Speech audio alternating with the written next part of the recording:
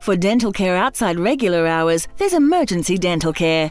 Emergency dental care can take care of fillings, extractions, trauma dentistry, and regular scale cleans and polishes, as well as crowns, cosmetic dentistry, and more.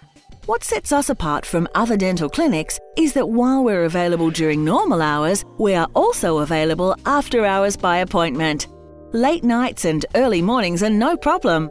Our flexible hours mean we organise an appointment around your schedule, not the other way around. Take care of your teeth at a time convenient to you with emergency dental care.